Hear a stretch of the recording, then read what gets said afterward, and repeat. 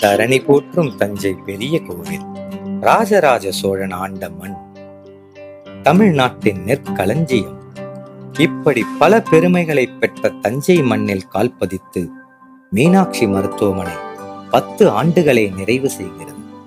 இத்தருணத்தில் ஒட்டுமொத்த டெல்டா மாவட்ட மக்களின் குடும்ப மருத்துவமனையாய் நாங்கள் இருப்பதில் மிகவும் பெருமை கொள்கிறோம்.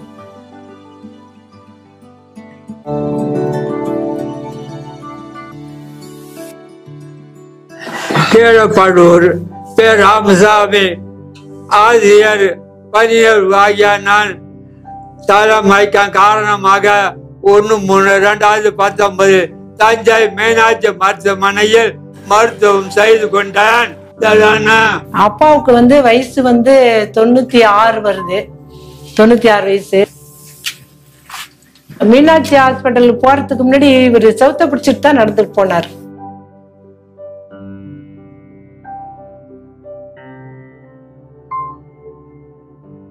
என்னோட பேர் வந்து லோகேஷ். நான் பட்டுக்கோட்டையில இருந்து ஒரு ஃபைவ் இயர்ஸ் ஆம்புலன்ஸ் ஓடிட்டு இருக்கேன். எனக்கு த்ரீ மந்த் பிஃபோர் ஆக்சிடென்ட் ஆனிச்சு. ஆக்சிடென்ட் நைட்டு ஒரு நைன் ஓ கிளாக் இருக்கும் நடந்துச்சு. பேஷண்ட் அட்டன் பண்ண போகும்போது அந்த பேஷண்டோட கண்டிஷனை பார்த்தாலே தெரிஞ்சிடும் இது வந்து நம்ம பட்டுக்கோட்டையில் அந்த பேஷண்ட்டை பார்க்க முடியுமா முடியாதுன்றதே எனக்கு தெரிஞ்சிடும் அந்த பேஷண்ட்டை நாங்கள் பார்த்தோன்னே ஃபர்ஸ்ட் என்ன பேஷண்ட்டை ஹெட் இன்ஜரி ரொம்ப ப்ளீட் ஆகிடுச்சுன்னா கண்டிப்பாக நாங்கள் வந்து ஃபர்ஸ்ட் எய்டு ஆம்புலன்ஸில் ஏற்றி ஃபர்ஸ்ட் எய்டு கொடுத்து நேராக தஞ்சாவூர் மீனாட்சி ஹாஸ்பிட்டலில் கொண்டு போய் க்யூர் பண்ணி அந்த அது பண்ணாதான் எங்களுக்கு கொஞ்சம் இதாக இருக்கும். எதுவுமே தெரியாது. இங்கேயே ஜிஹெச்ல ரெண்டு இடத்துல பார்த்துருக்காங்க. அப்புறம் இங்க சொல்லி அதுக்கப்புறம் தான் மீனாட்சி அழைச்சிட்டு போயிருந்திருக்காங்க. இங்க ரெண்டு இடத்துலயுமே எதுவும் பண்ண முடியல அப்படிங்கிறதுக்காக தான் மீனாட்சிக்கு அழைச்சி வந்திருக்காங்க. நிஜமா சொல்றப்பா உள்ள பொழைக்கும்னே நான் நினைக்கலப்பா? இப்படி இப்படி இப்படி தடவுனாப்பா? நம்பிக்கையே இல்லை சார். எங்களுக்கு நம்பிக்கை இல்லாம தான் நாங்கள் மீனாட்சி ஹாஸ்பிட்டலுக்கே கொண்டுட்டு வந்தோம். என் பையன் பழைப்பானா இறப்பானான்னு கூட தெரியாது. அந்த அளவுக்கு இருந்தான். மீனாட்சி ஹாஸ்பிட்டல் வந்து ஒரு நம்பிக்கை வந்தது. எனக்கு நம்பிக்கை உள்ள அங்கே வந்தோடனே பாப்பாவுக்கு பார்த்தீங்கன்னா சரி நமக்கு நமக்கு நம்பிக்கையா இருந்தேன் கண்ணு முழிக்கல. இங்க இல்லடி தங்கம் நான் இங்க தாண்டி இருக்கேன் தங்கம் நான் நினைக்கவே இல்லப்பா. ஆனா என் மீனாட்சி ஹாஸ்பிட்டல் என் பையனுக்கு ஒன்றும் பண்ணி கொடுத்து உங்களுக்கு பையன் சந்தோஷமாக இருந்தாங்க இதுக்கப்புறம் எதுக்கு டாக்டர் டுவெண்ட்டி ஃபோர் ஹவர்ஸ் இருக்கிறது அங்கே மட்டும்தான் அப்படிங்கிறதுனால தான் அங்கே அட்மிஷன் போட்டோம். அதே மாதிரி ஐசியூவில் நாலு நாள் வச்சுருந்தோம். ஃபுல் அண்ட் ஃபுல் டாக்டர் இருபத்தி நாலு மணி நேரம் இருந்து நல்லா பார்த்துக்கிட்டாங்க அவங்க வந்து ஆப்ரேஷன் பண்ண பிறகு பண்ணின உடனே சரியாயிடுச்சு. பண்ணின உடனே விஷயோதெரப்பி வந்து செய்ய சொன்னாங்க. அவங்க செஞ்ச உடனே பையன் நேரம் நடந்ததும் பரவாயில்ல அப்படின்னு சொல்லி நான் எனக்கே ஒரு சந்தோஷம் வந்துச்சு. அடிப்பட்ட பொழுதே எனக்கு தெரியாதுங்க அவ்வளவு விவரம் புரியாது. தஞ்சாவூர் வந்திருந்தேன்னா இன்னைக்கு நடமாட்டத்தோட இன்னும் இன்னும் ஒரு நாலஞ்சு வருஷத்துக்கு இருப்பேன்.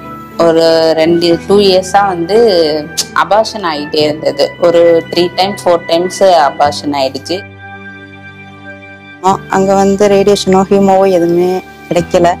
அவங்க மூலயமா சரி மீனாட்சிக்கு வந்தோம் எல்லா ட்ரீட்மெண்ட்டுமே கிடைச்சது. ஆனா இதே நாங்க அடையாறு ஆஸ்பத்திரியில போய் கேட்ட ஒரு பாடு அவங்க என்ன சொல்றாங்க? அடையாறுல இருந்த டாக்டர் ஏங்க மீனாட்சியில தான் எல்லா ஃபெசிலிட்டிஸ் இருக்கு. உங்களுக்கு பக்கம் வேற. உங்களுக்கு இங்க தங்கி நீங்க இருந்து ட்ரீட்மெண்ட் பார்க்கணும். அதெல்லாம் சிரமம். அங்கன்னா உங்களுக்கு அழைச்சிட்டு அழைச்சிட்டு போயிட்டு வந்துடலாம்? உங்களுக்கு மீனாட்சி பெஸ்ட்னு அவங்க கூட அடையாறுல இருக்க டாக்டரே சொல்லிட்டாங்க. மெட்ராஸ் போனா கூட எங்களுக்கு இந்த சலுகை கிடைச்சிருக்காது. ஏன்னா பத்தோட பதினொன்னா தான் பார்ப்பாங்க. போகல. எங்களுக்கு இந்த ஹாஸ்பிட்டலே பிடிச்சது பக்கமா இருக்கு.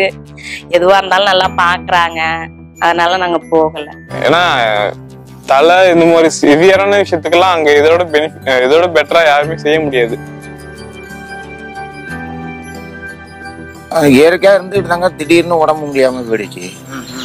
ரொம்ப மோசமா இருந்தேன். மூஞ்செல்லாம் வீங்கி போயிட்டு வயிறுலாம் வீங்கி போயிட்டு. நீ தேற மாட்டேன்னு எல்லாம் சொன்னாங்களாம். எல்லாரும் பார்த்தவங்கலாம். அவங்கள வந்து சூப்பரா சார் காவந்து பண்ணிட்டாங்க.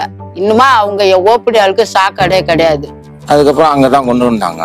அங்கிருந்து வச்சிருந்து அங்கேருந்து நல்லா இருக்கிறாங்க. இப்போ வீட்டில் வந்து நலமா நல்லா வேலை செஞ்சுக்கிட்டு நல்லபடியா இருக்காங்க. எனக்கு ட்ரெயின் காலையில ஒரு எட்டு எட்டு மணி ஒன்பது மணிக்கெல்லாம் வந்துருவாங்க ஒன்பது ஒன்பதரைக்கெல்லாம். வந்து நடக்க வச்சு எனக்கு யூரின் பையெல்லாம் பை இதெல்லாம் கட்டியிருந்தாங்க. அவர் டாக்டரே கையில எடுத்துட்டு வருவார்.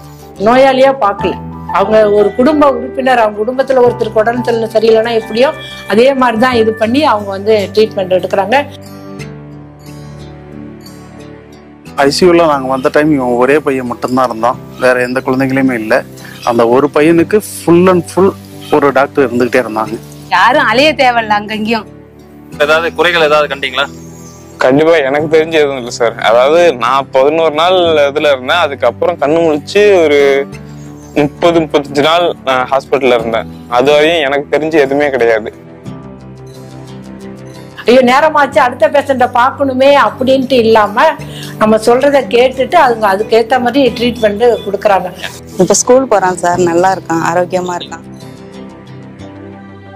சொல்ல முடியாத. காட்சி அதனாலதான் பாப்பாக்கு வந்து மீனாட்சி வச்சு கிருஷ்ண மீனாட்சினே பேர்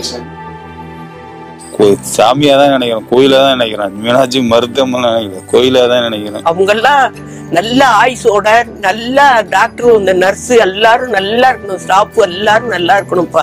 அதை தான் நான் தெய்வத்தை வேண்டிக்கிறேன்ப்பா.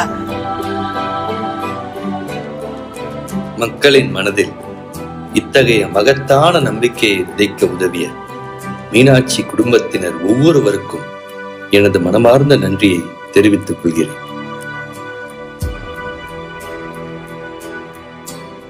மீனாட்சி மருத்துவமனை தஞ்சாவூர்.